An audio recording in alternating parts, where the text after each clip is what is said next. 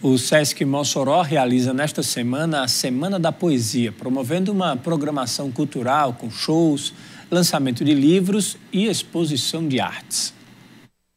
Dia 18 de abril, esta segunda-feira, comemora-se o Dia Nacional do Livro Infantil. 23 de abril celebra o Dia Mundial do Livro. E no dia 1 de maio tem o Dia da Literatura. A pergunta é: por que não juntar todas essas comemorações? Pensando nisso, o SESC RN montou uma programação cultural do dia 18 ao dia 23 de abril, envolvendo diversas linguagens artísticas. Essa semana ela foi adiada, né? Seria em março. Mas devido às fortes chuvas, assim, ficou conturbado a gente fazer o evento.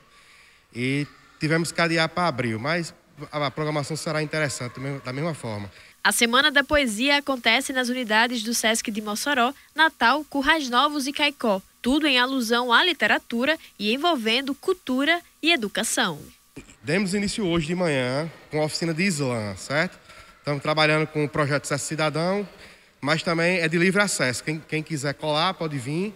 Né? É, a gente trabalha com um rapper, com um cordelista, e a gente tem trabalhado aqui no, no nosso projeto essa fusão. É, conversando com o pessoal do rapper, a gente, a gente é, percebe que ele se inspira muito nos antigos emboladores. Então, desde tem um projeto rolando aqui já há uns 3 a 4 anos, que é o Juntando Poesias.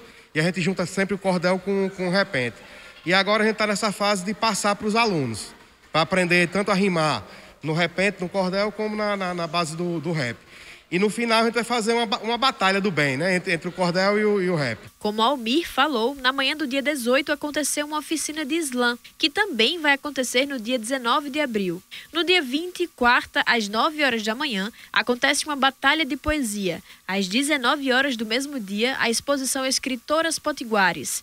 E às 19h30, o lançamento do cordel Nosso Chão, a Terra que Brota Cultura. Do dia 18 ao dia 22 de abril, fica aberta a visitação das 8 às 17 horas, a intervenção literária Poesia Vista, da companhia Pão Doce de Teatro. E do dia 18 a 23, acontece uma exposição de livros na biblioteca do SESC. Vai ter programação durante o, o, toda a semana e a exposição Escritoras Potiguares, que vai ser lançada é, na quarta-feira, dia 20, vai ficar até o final de maio 30 dias.